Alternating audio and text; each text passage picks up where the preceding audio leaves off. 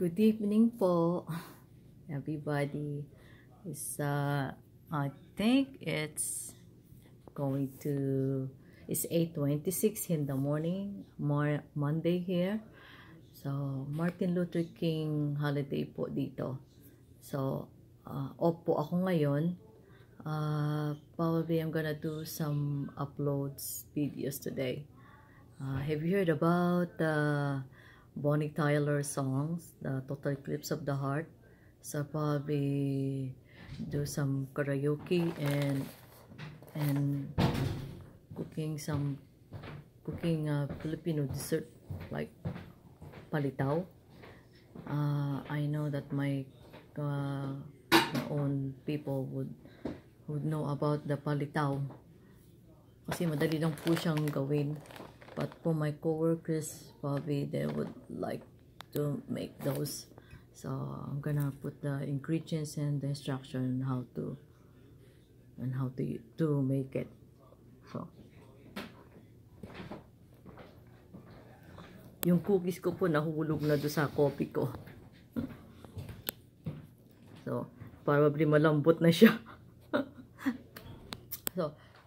Alam niyo po is uh, it's already 8 o'clock here but it's cloudy guys. Yeah I'll show you Look. cloudy po.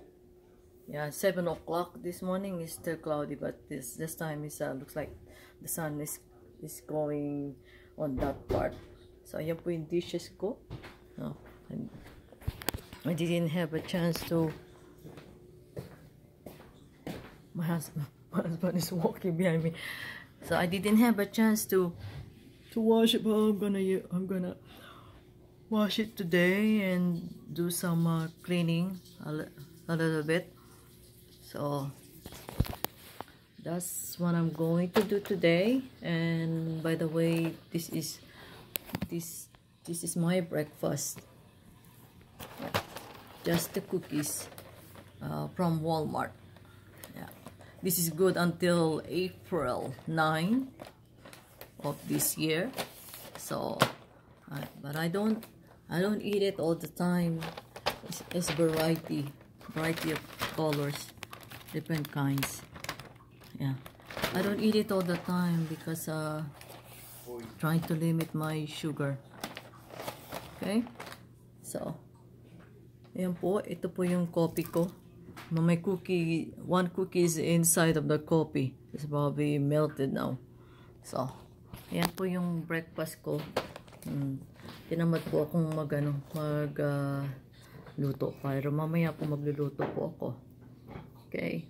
So, ako lang po yung dito sa sa Amerika. Wala po akong kamag-anak dito. I don't have relatives here. Uh, only my relatives is my husband. So, so I got married uh, last year too, guys.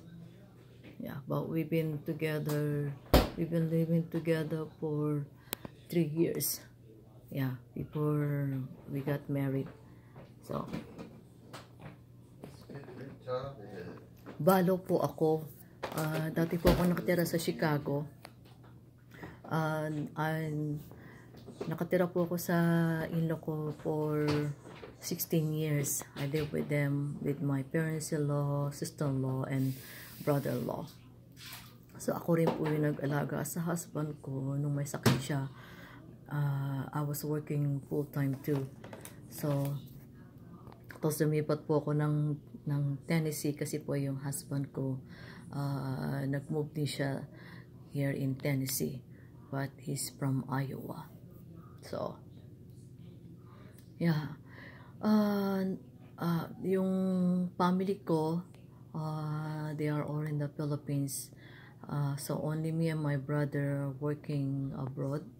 Yeah, my brother is uh, uh, working in different countries. So sometimes nasa Pilipinas po siya every year and then uh, and then and then leave again.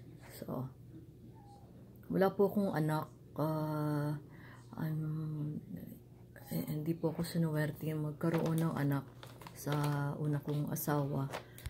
So, maybe uh, uh, so that's why I'm um I'm a provider for my for my uh, for sa mga pamangkin ko. So yeah.